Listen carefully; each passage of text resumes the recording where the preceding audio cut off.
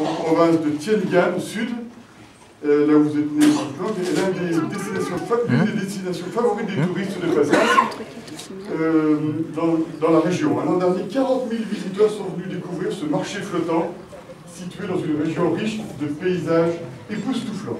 J'ai lu aussi que Galvin, où vous êtes né euh, à Thuet, était le ancien nom de Ho Chi Minh City, hein, avant que les Français arrivent, ils changent euh, Michel, il est où. Je sais pas, elle est où, Bana euh, L'avenir, hein, euh, l'histoire et le, temps ont fait beaucoup, beaucoup, beaucoup.